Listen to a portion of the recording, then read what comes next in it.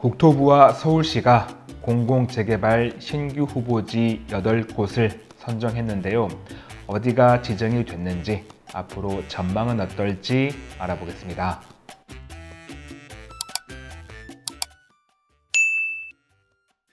네, 안녕하세요. 박찬웅의 부동산 쇼 부자남 박찬웅입니다. 국토부와 서울시가 지난 8월 26일에 공공재개발 신규 후보지 8곳을 선정했습니다. 이번이 2차 후보지인데요. 1차 후보지는 작년 1월 달과 3월 달에 두 번에 나누어서 지정을 했었죠. 총 24곳이었습니다. 그래서 이번에 8곳까지 더한다면 총 32곳이 공공재개발 후보지로 선정이 된 겁니다. 이번에 선정된 8곳이 정말 계획대로 어, 잘 진행을 해서 사업을 완료하게 된다면 서울 도심 내에 약 1만 호 정도의 신축 주택이 공급될 것으로 보이는데 이건 어디까지나 단서에 나와 있는 대로 계획대로 사업이 완료가 될 때입니다. 하지만 이 공공 재개발이 과연 계획대로 다 진행이 될 것인가? 제가 차후에 말씀을 드리겠지만 이제 반대하는 주민이 많고요. 어, 그러다 보니까 아마도 주민들의 동의를 얻기가 어려워서 계획대로 진행되기는 어렵지 않을까라는 게 개인적인 생각입니다. 이번에 선정된 8곳 어디가 지정이 됐는지 살펴보겠습니다. 첫 번째는 가장 주목할 만한 곳이죠. 마포구 아현동 699번지 일대입니다. 이제 여기는 아현 1구역으로 많이 알고 계시죠. 영화 기생충에서 돼지 슈퍼가 있던 곳이고요. 이제 이곳이 후보지로 선정이 되면서 계획대로 잘 진행이 된다면 약 3,115세대의 아파트가 들어설 예정이고요. 두 번째는 영등포구 도림동 26-21번지 일대 약 2,322세대 정도. 세 번째는 종로구 연건동 305번지 일대 447세대, 중랑구 면목동 527번지 일대 1022세대, 은평구 응암동 101번지 일대 915세대, 양천구 신월 5동 77번지 일대 775세대, 구로구 구로동 252번지 일대는 287세대, 마지막 금천구 시흥사동 4번지 일대에서는 약 1509세대 이렇게 해서 총 1만호 정도의 신축 주택이 공급될 것이다 라는 건데 중요한 건 계획대로 잘 진행이 됐을 때의 문제입니다. 다만 이제 이번 음, 신규 후보지로 지정된 8곳 말고 도봉구 창삼동 그리고 서대문구 홍제동 이 두 곳은 보류가 됐습니다. 보류 결정이 났는데 아마 여기는 다시 어, 논의해서 어, 신규 후보지로 지정할지 아니면 그대로 그냥 없던 걸로 할지 결정이 될 것 같습니다.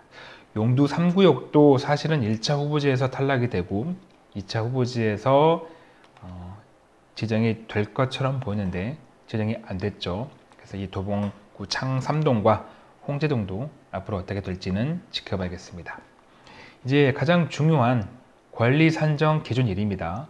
어, 이번에 2차로 공공재개발 후보지로 선정이 된 곳들은 어, 이 관리 산정 기준일, 그러니까 조합원이 아파트를 분양받을 수 있는 관리 산정 기준일은 공모 공고일인 2021년 12월 30일로 할 계획입니다. 어, 관리 산정 기준일이니까 음, 이제 그 관리 산정 기준 일자 이후에는 뭐 지분 쪼개기나 신축 그러니까 다가구를 다세대로 한다거나 아니면 새롭게 집을 지어서 쉽게 말하면 조합원을 늘리는 거죠. 이런 것들이 안 된다라는 거고 물론 이제 소유권 이전은 가능합니다만 그래서 갭 투자 가능하겠죠. 하지만 이걸 또 막기 위해서 토지거래 허가 구역을 지정을 합니다.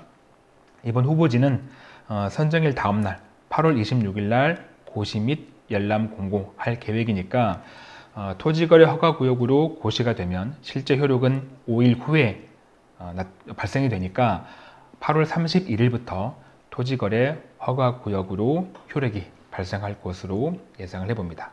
그리고 이제 음, 이렇게 공공재개발 후보지로 지정된 곳뿐만 아니라 선정되지 않은 구역의 경우에도 향후에 다시 또 재개발 공모를 통해서 후보지로 선정될 수 있잖아요. 그래서 어, 선정됐을 때 그때 또 이런 투기 수요를 막기 위해서 일괄적으로 이제 앞으로 공공 재개발 후보지로 선정이 되면 2022년 1월 28일을 이 날짜를 기준으로 관리 산정 기준일로 잡겠다라고 했습니다. 물론 이제 토지거래 허가 구역은 공공 재개발 후보지로 선정된 다음 날 고시가 될 것으로 보입니다. 그리고 공공 재개발 후보지에 대해서 자세하게 알고 싶다라고 하시면 문의처가 나와 있네요.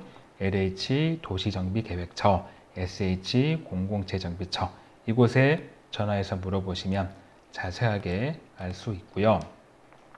이번에 지정된 8곳을 도면으로 조금 더 자세하게 알고 싶다라고 하시면 지금 제가 보여드리고 있는데요.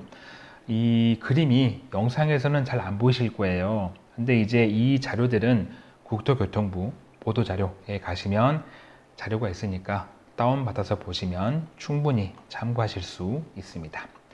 그리고 이번이 2차 공공재개발 후보지였잖아요. 그러면 이제 먼저 제정이 됐던 1차 공공재개발 후보지 24곳은 어디이고 권리 산정 기준 일자와 토지거래 허가구역 지정일은 언제인지 살펴보겠습니다. 먼저 작년 1월 15일 날 선정이 됐던 8곳입니다. 흑석 2구역, 양평 13구역을 시작으로 해서 강북 5구역까지 8곳이고요.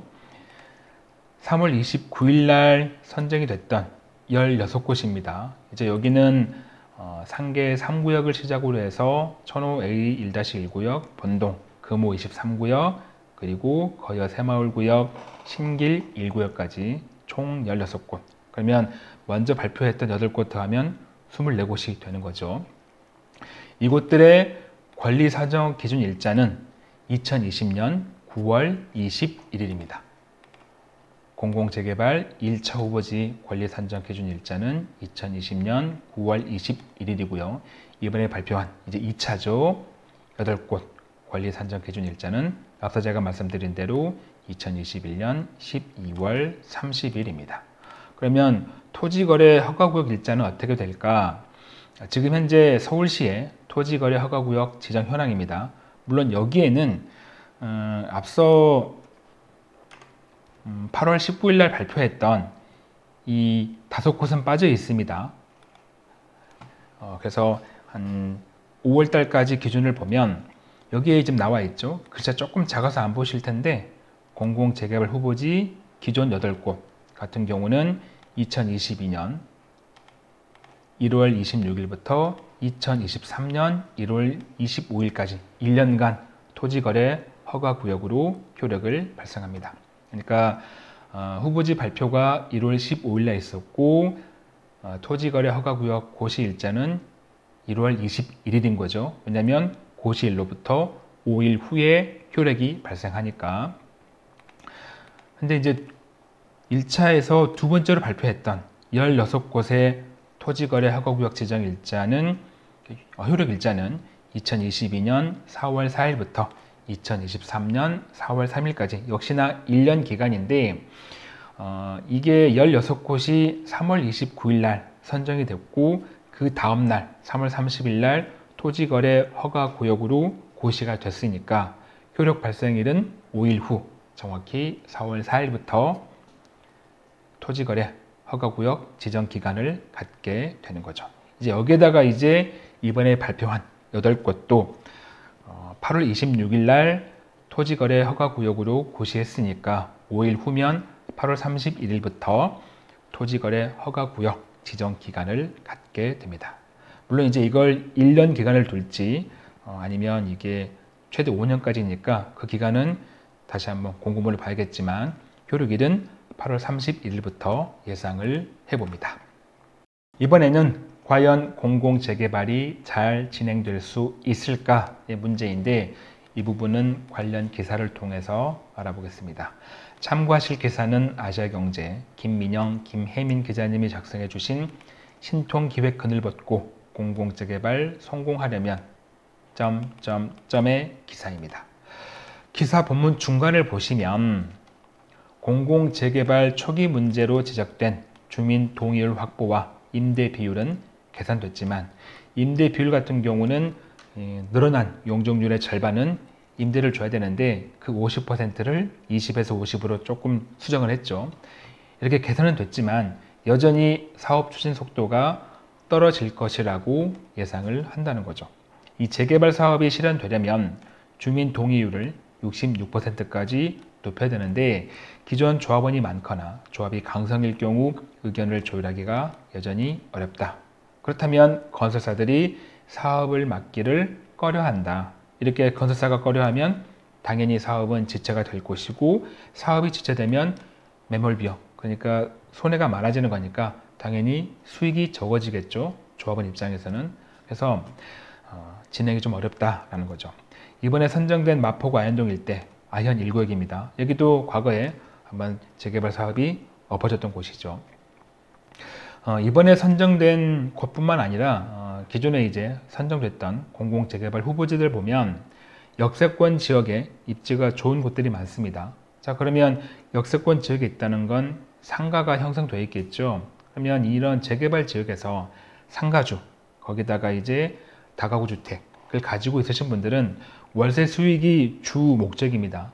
그래서 이분들은 굳이 재개발하기를 원하지 않습니다. 그래서 이런 비대위도 많이 형성이 되어 있고 뭐 흑석 2구역, 금호 23구역, 거기다가 신길 1구역 등과 같은 곳들 비대위가 형성돼서 반대하는 거죠. 공공 재개발을. 굳이 또 이런 상가나 다가구 주택 주인이 아니시더라도 연세가 많으신 분들은 역시 재개발에 대해서 호의적이지가 않아요. 그래서 주민 동의를 끌어올리기가 쉽지는 않아 보입니다. 그래서 아마 어, 공공 재개발은 이게 과연 잘 진행될 것인가 어, 전문가분들 마찬가지지만 저 개인적으로도 상당히 힘들 것으로 보입니다.